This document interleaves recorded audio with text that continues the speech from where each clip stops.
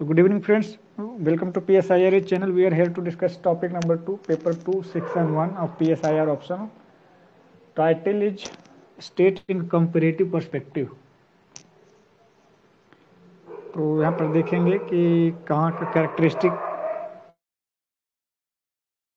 characteristic and changing nature of the state in capitalist फिर socialist economy में देखेंगे advance industrial developing economies में देखेंगे हाँ तो स्टार्ट करते हैं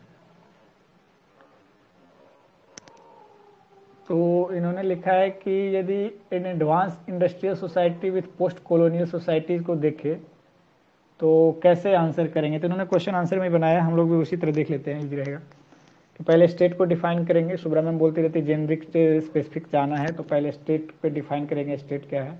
फिर एडवांस इंडस्ट्रियल सोसाइटी डिस्क्राइब करेंगे, फिर उसके बाद पोस्ट कॉलोनियल सोसाइटी डिस्क्राइब करेंगे और उस हिसाब से जो भी हो कंपेयर करेंगे। नेचर क्या दोनों फिर कंक्लूड करेंगे।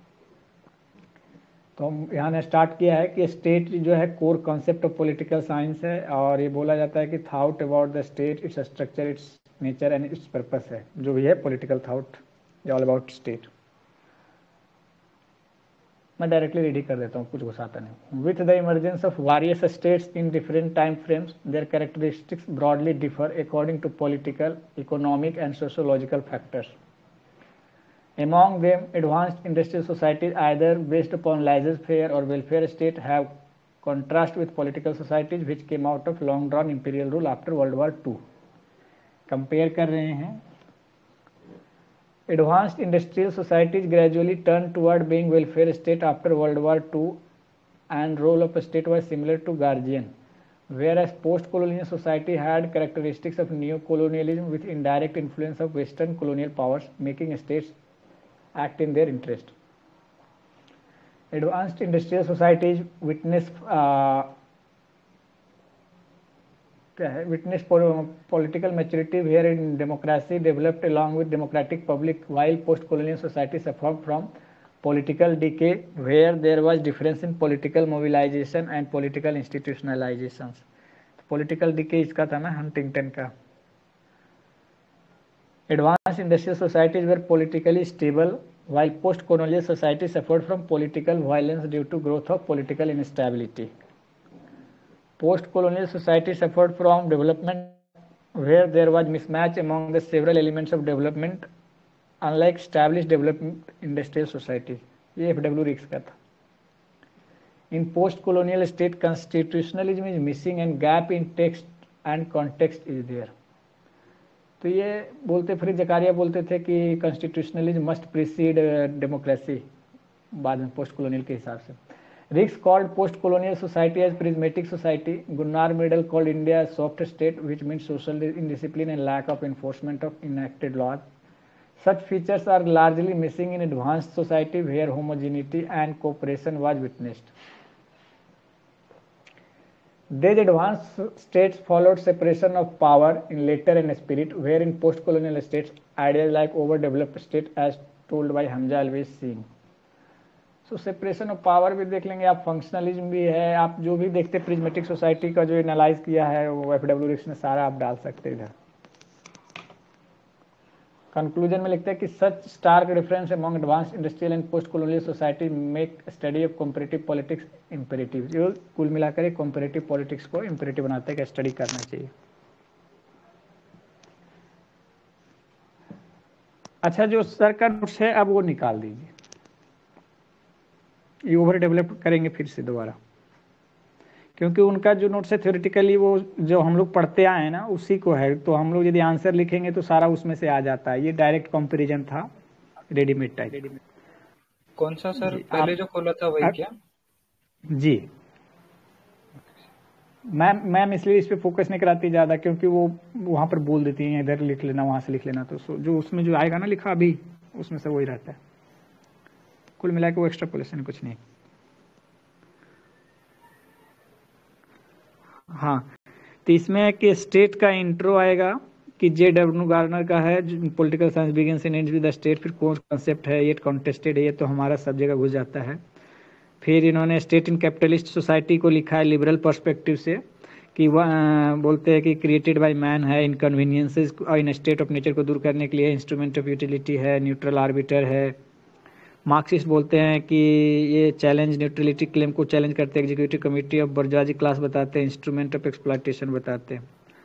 लिबरल्स वाला जो थ्योरी है, वो इवॉल्व हुआ है। ये ऐसा लगेगा ना, आपको कि स्टेट के बारे में बता रहा है थ्योरी ऑफ़ स्टेट तो जो हम लोगों ने अभी देखा, वो एग्जैक्ट आंसर में लिखने का है, शुरुआत यहाँ से कर सकते थोड़ा। लाइसेंस फिर आया मिनिमल है नाइट वॉचमैन है पुलिस स्टेट है नौ वेलफेयर स्टेट में। मार्क्सिस्ट वाला पोस्ट इंडस्ट्रियल स्टेट में जो आया थे राल्फ मिली बैंड तो बोला इंस्ट्रूमेंटल थ्योरी लगाया था, फिर निकोस पोलांजा जो थे, उन्होंने रिलेटिव ऑटोनोमी मॉडल लगाया था। और फिर एलिटिस्ट वाले थे oligarchies iron law Michels C Wright means बोले USA ruled by power elite फिर पोलरलिस्टिक आए। तो ये सब एडवांस इंडस्ट्रियल सोसाइटी के फीचर्स है। अब आ जाइए नीचे स्टेट इन सोशलिस्टिक सोसाइटी इसमें कि ये भी मार्क्स लेनिन और माओ रहेंगे क्योंकि सोशलिस्टिक सोसाइटी वहाँ से अब प्रैक्टिस में आने लगा communism Russia Yugoslavia Cuba North Korea China का एग्ज़ाम्पल यहाँ दिया हुआ। With collapse of USSR communism and third wave of democracy जो है shift of socialist state towards state control market economy हो गया। मार्क्सिस्ट परस्पेक्टिव बोलते हैं लिबरल स्टेट जो है डिक्टेटरशिप और बर्जवाजी है सोशलिस्ट स्टेट जो है डिक्टेटरशिप और प्रोलेटारिएट है। वेस्टर्न परस्पेक्टिव हन्ना रेंट वाले बोलते हैं टोटलिटेरियन स्टेट सोशलिस्ट को। काल पॉपर बोलते हैं क्लोज सोसाइटी है डिक्टेटरशिप ऑफ़ कम्युनिस्ट पार्टी है नॉट डिक्टेटरशिप ऑफ़ प्रोलेटारिएट है. और it doesn't give socio economic rights ये ओनली ड्यूटी पे फोकस करता है। एलिटिस्ट भी बोलता है रेमन डेरोन जिन्होंने स्टडी किया है, ये बोलता है west is better elite structure is fractured at least but इधर है जो सोशलिस्ट में है, वो मोनोलिथिक एलिट्स है. सो कंक्लूजन बोलते हैं कि welfare state is a golden mean of socialist state and capitalist state अब इन एडवांस इंडस्ट्रियल स्टेट तो वही western capitalistic model socialist state तो कुल मिलाकर दोनों एडवांस इंडस्ट्रियल थे तो दोनों वहीं हम लोग वही लिखेंगे फिर से। डायरेक्ट कंपेयर करना था तो वहाँ। और स्टेट इन डेवलपिंग सोसाइटीज़ में तो बैकग्राउंड देंगे कि फॉर्मल कॉलोनीज थर्ड वर्ल्ड जिसको बोला जाता है ग्लोबल साउथ भी है nation state is important institution democracy is impose ideology governability crisis होती है एक्सेसिव रिलायंस ऑन फोर्स है ट्रेंड्स है फेल्ड स्टेट्स हैं। वेस्टर्न व्यू में है कि एफ़ डब्ल्यू रिक्स बोलते हैं फॉर्मली वो डेवलपमेंट ट्रैप प्रिजमेटिक सोसाइटी जिसका आठ फीचर्स है। एस पी हंटिंगटन का डेवलपमेंट डीके है गुनार मेडल का एशियन ड्रामा का सॉफ्ट स्टेट है हमजालवी हमजालवी हमारे तरफ़ से फिर मार्क्सिस्ट मैजिक मार्क्सिस्ट में बोलते हैं instrumental dependency theory Ralph Miliband है एजी फ्रैंक सामिर अमीन है पेरीफेरी कंट्रीज़ अराउंड कोर है, जो डेवलपमेंट ऑफ़ अंडर डेवलपमेंट हो गया कोर पेरीफेरी वाला मॉडल आता है। Structuralist relative autonomy Nicos Poulantzas वाले हैं। और हमजालवी वाला ओवर डेवलप्ड स्टेट है। पॉलिटिकली ओवर डेवलप्ड हो गया मिसमैच्ड इकोनॉमिकली फ्यूडल हो गया। इंडिया के रिस्पेक्ट में भी आप इससे गुनार मेडल का ही ले सकते हैं। फिर आपका रुडोल्फ रुडोल्फ का भी है। Traditionalization modernity modernization of tradition फिर वी एस नाइपॉल थे शायद, उनका भी था कि यहाँ पर पॉलिटिकल डेवलपमेंट जो हुआ है मैच नहीं किया है इकोनॉमिक डेवलपमेंट को। इतना ही है फिनिश हो गया ये। अच्छा एक जो पुराने वाले नोट्स में जो जस्ट अभी प्रीवियस पीडीएफ हम लोग देख रहे थे, उसमें था note on over developed state तो चूँकि हमारे तरफ़ साउथ एशिया का स्कॉलर का एक बढ़िया कॉन्सेप्ट था पॉलिटिकल साइंस में कंट्रीब्यूशन इसलिए इसको फोकस करते तो उसे कर देता हूँ। Note on over developed state वो जो पिछला पीडीएफ था ना, उसी में है सबसे लास्ट इसमें कि कॉन्सेप्ट ऑफ़ स्टेट जो है, फिर कहानी तो यदि ओवर डेवलप्ड स्टेट पे लिखेंगे तो फिर वही जेनरिक पहले स्टेट से स्टार्ट करेंगे, फिर आएँगे यहाँ पर हमजा अलवी पे। तो हमजा अलवी पे लिखते हैं कि theory of over developed state दिया उनमें बताते हैं कि बताते हैं कि Hamjalvi by theory of overdeveloped state give an account of the vacuum that is present in between the state and society with regards to modernity. There exists a structural mismatch between the political and social evolution in post-colonial society. Alawi, a Pakistani sociologist, applied his structuralist approach regarding dominance of state in South Asian countries and talked about the state in third world countries which developed faster than societies. ठीक है, इन्होंने develop लिखा है modernise भी लिख सकते थे। Their societies remain traditional while state became modern और ओवर डेवलप्ड तो स्टेट एज ए इंस्टीट्यूशन ना डेवलप किया सोसाइटी उतना डेवलप नहीं किया। मुझे लगता है सोसाइटी पहले डेवलप था। बट इनका व्यू हम यही पकड़ेंगे। Their societies remain traditional while state became modern और ओवर डेवलप हाँ ही gave the reason for the mismatch by relating to colonial legacy तो ये कारण भी बताते कि क्यों ये ऐसा हुआ मिसमैच कोलोनियल लेगेसी के कारण। Alavi described colonial countries as Bonapartist state, where real power exists with political executive. Since the colonial power had to protect their colonies and maintain law and order, they established the police state and bureaucracy gained power. When states became independent, they continued laws and policies of their masters. They continued the police state on the grounds of protecting their territorial integrity amidst rising secessionist movements, which gave legitimacy to their action तो state को ना post colonial society में बहुत मौका मिला और उसको appropriate भी किया उन्होंने स्टेट ने। They created this new equilibrium by becoming peacemaker and maintained homeostasis homeostasis change नहीं होने देते।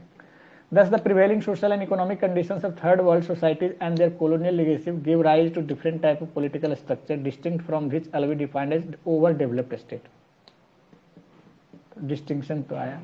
कंक्लूजन लिखते हैं कि in contemporary times military bureaucratic oligarchy persist and various dictatorship in third world country reflect the concept of overdeveloped state तो यहाँ पर हमारे इंडिया नहीं फिट बैठे and despite all claims of rolling back of the state by new functioning functioning of state proof otherwise मैंने जितना बोल दी कि रोलिंग बैक हो रहा है स्टेट लेकिन हकीकत में प्रैक्टिस में कुछ और है।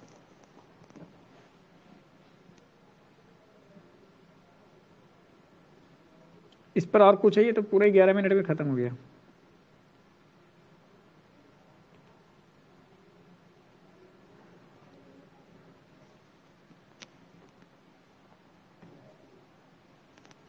कोई तो बोलिए कि स्टार्ट कर दो?